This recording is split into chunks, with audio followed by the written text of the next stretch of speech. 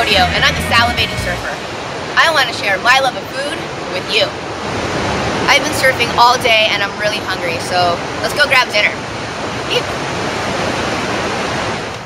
Just because I'm a surfer girl doesn't mean that I only eat tacos and drink beer. Sometimes I like to go out and get some fine dining, get dolled up.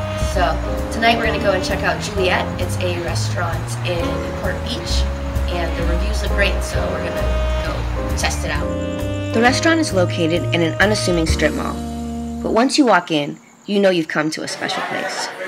Juliette is filled with happy patrons, drinking wine, laughing, and enjoying life.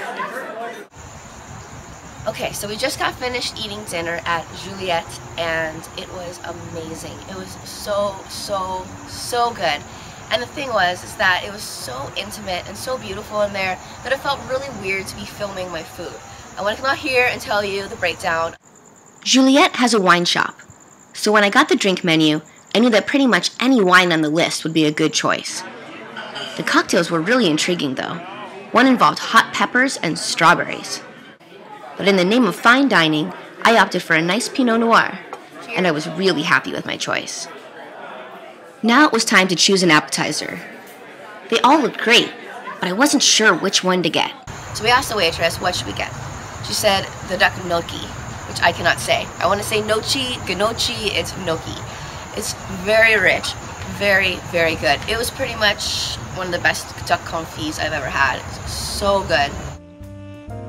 Gnocchi is like if a ravioli and a pierogi made a baby. They're like little dumplings, and in this case were filled with a rich, creamy cheese. Tossed into this masterpiece were pieces of perfectly cooked duck confit. The pesto sauce was heavier than most pestos I've tried, a quality that I really enjoyed. I could have left after this course and been a happy camper. Then we went on to the main entree, and I had the fish stew, and it was insane. It was like a mermaid feast.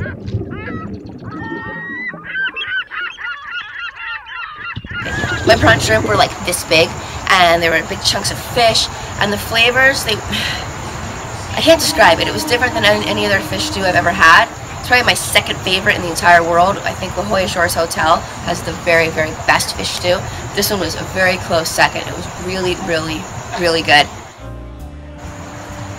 So dessert. I got the pate creme, and what that is is pretty much pudding for grown-ups.